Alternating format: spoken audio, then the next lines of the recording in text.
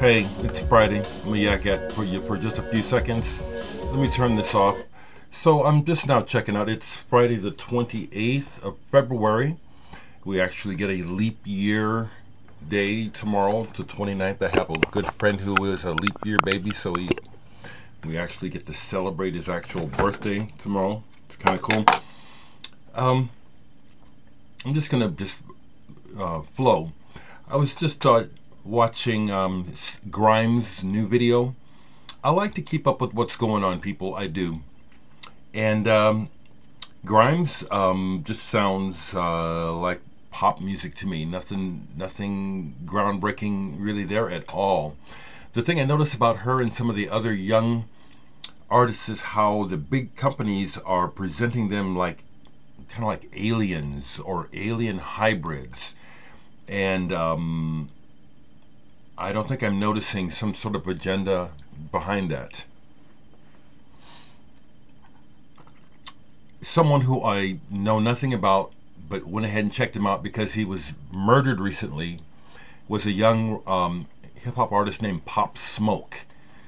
Um, I had not have heard of him, although I do try to check out what's happening with the young people in all, all genres.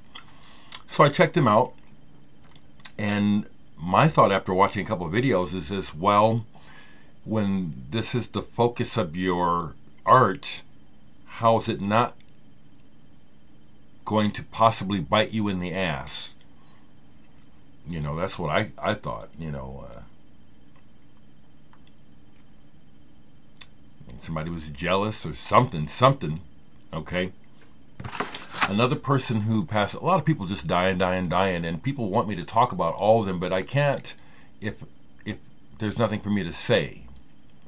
Okay, so um, the cat from um, Mazzy Star and Opal died. He was 61, younger than me. What's his name? Roback? David or Daniel Roback? David Roback uh, just died. He was also in the Rain Parade. People are going on and on and about the Rain Parade. I never rated the Rain Parade. I still don't. I rechecked them to make sure.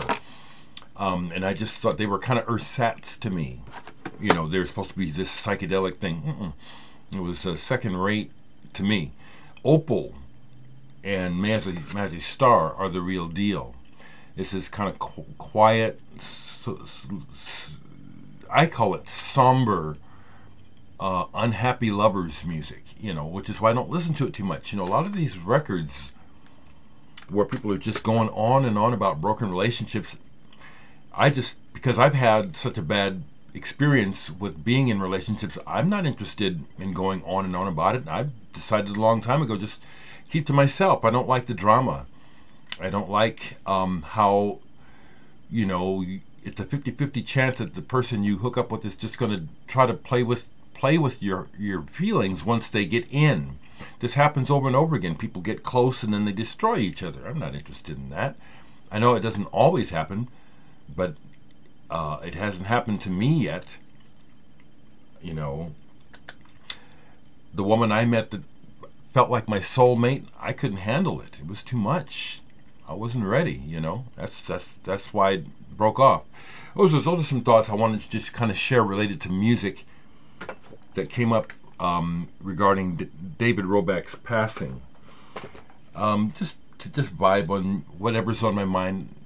Uh, again, I'm going to keep this short so I can remind you that Stupid Morning Bullshit is on again every day, but every Friday they run the Old Music Friday segment of mine. So that'll be on today at 4 Central, 5 Eastern, 3 Mountain Time, and I think it's 2 o'clock on the West Coast, something like that. Okay, um, recently I just pulled some stuff, and I pulled this. I hadn't played it in a long time. This is by Pizzicato 5 from Japan.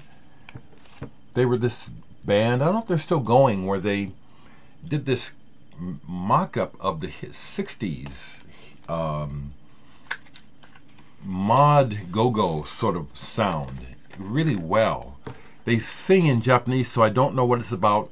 Thankfully, because I don't, I, I probably don't need to know. They might be talking about the size of the heels on their shoes or something. I don't know. But the arrangements on here, great. I will make a list. I will try to remember to do that for you folks who have a hard time understanding what I'm saying. Played this recently, Dome, Dome 3. This was a pro side project from the guys from Wire. Gil Bruce Gilbert, Bruce Gilbert and Graham Lewis, along with Eric Radcliffe and Russell Mills, is on here. This is really kind of wacky. There's some vocals on here that are off-putting because they're just doing exactly what they feel like doing. So it's it's it's kind of wild. The music and the sound work on here is fantastic. That's why I love Dome, Dome 3. Is there anything else down here? I play stuff and put it away. Well, I tried to listen to this the other day, and it just didn't. It wasn't the right time. Piero Umiliani um, made a lot of library and music and film music, and this is one that I picked up. Suspence Elettronica. Um, I just had a chance to get this when it got reissued, and um, it is. It's kind of edgy, so it's not a real comfortable uh, listen. I think this will be something that, again, either mood-wise, I'll have a good experience listening to it, or else it's just something that I have in the library, you know, not really for uh, um, entertaining listening. Okay.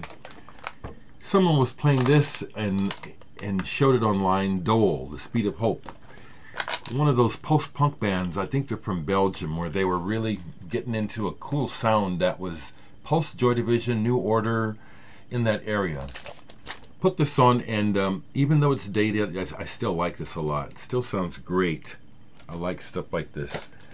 I think I put the most. Well, no.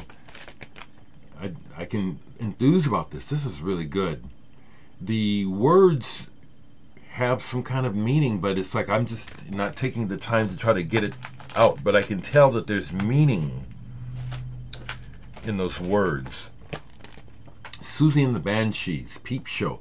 Siouxsie is my queen. I love her. I love this band. I just had the opportunity to turn um, this young couple on to them who are friends of mine. Um, I really enjoy um, young, smart people. And um, they had never heard of Siouxsie and the Banshees, and I just happened to have a video going when they stopped by, and they were riveted because Siouxsie is a badass, one of my favorites. I just, I just love her.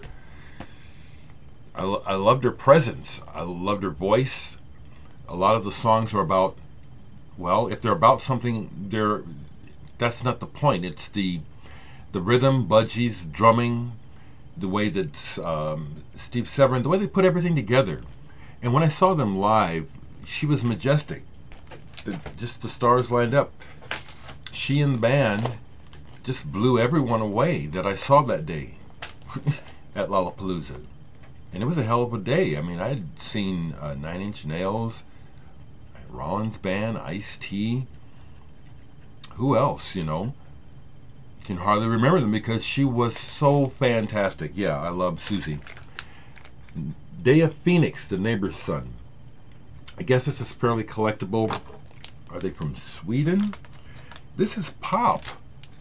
Um, but it's called prog. People consider it, there's prog things, but it's like this album is like so good. It's like my goodness, man! I swear, if I could get this on the radio, it'd be a hit right now. The Neighbor's Son. This is really good. Really, really well done.